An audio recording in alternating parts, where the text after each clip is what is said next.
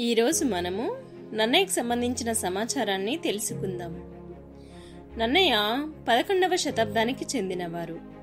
ఈయన తూర్పు చాళుక్య రాజైన రాజరాజ నరేంద్రుని యొక్క ఆస్థాన కవి. సంస్కృతంలో వ్యాసభారతం ఉంది. అయితే తెలుగు వారికి కూడా వ్యాసభారతం పరిచయం చేయాలనే సదుద్దేశంతో తెలుగులో భారతం రాయాల్సిందిగా నన్నయ్యను ఒప్పించారు రాజరాజ నరేంద్రుడు. నన్నయ్య భారత రచనకు ఎంతగానో సహాయపడ్డాడు తన సహాధ్యాయుడైన నారాయణ భట్టు. నన్నయ్య గారిది ముద్గల గోత్రము. వీరి ఇంటి పేరు వాడ్రేవు. నన్నయ్య గారి బిరుదులేంటో తెలుసుకుందాం. ఆది కవి శబ్ద శాసనుడు వాగను శాసనుడు విపుల శబ్ద శాసనుడు. మరి వీరి కవితా గుణాలు కూడా చూద్దాం. ప్రసన్న కథా కలితార్థ యుక్తి అక్షర రమ్యత నానా రుచిరార్థ సూక్తి నిధిత్వం. నన్నయ్య గారి రచనలేంటో చూద్దాం.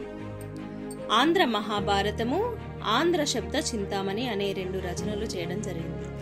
అయితే ఆంధ్ర మహాభారతంలో ఆది పర్వము సభా పర్వము అరణ్య పర్వము. అరణ్య పర్వంలో నాలుగవ ఆశ్వాసము నూట నలభై రెండవ పద్యం వరకు రాయడం జరిగింది నన్నయ్య. మరి ఆంధ్ర శబ్ద చింతామణి అనే తెలుగు వ్యాకరణాన్ని సంస్కృతంలో రాశారు. నన్నయ్య గారి అలభ్య రచనలు ఒకసారి చూద్దాం. ఒకటి ఇంద్ర విజయము లక్షణ సారము చాముండికా విలాసము. నన్నయ్య శాసనాలు కూడా రాయడం జరిగింది. నన్నయ్య రాసిన శాసనాలు ఏంటో తెలుసుకుందాం. ఒకటి నందంపూడి శాసనము రెండవది మండ శాసనము. మరి నన్నయ్యకు సమకాలీన కవులు ఎవరో చూద్దాం. పావులూరి మల్లన నారాయణ భట్టు మల్లియ రేచన వేములవాడ భీమకవి అధర్వనుడు నన్నయ్య అనువదించిన తెలుగు భారతం ఏదైతే ఉందో అది చెంపు కావ్య ప్రక్రియకు చెందింది.